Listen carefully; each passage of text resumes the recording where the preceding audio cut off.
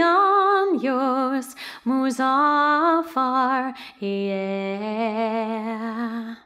One happy birthday dot com.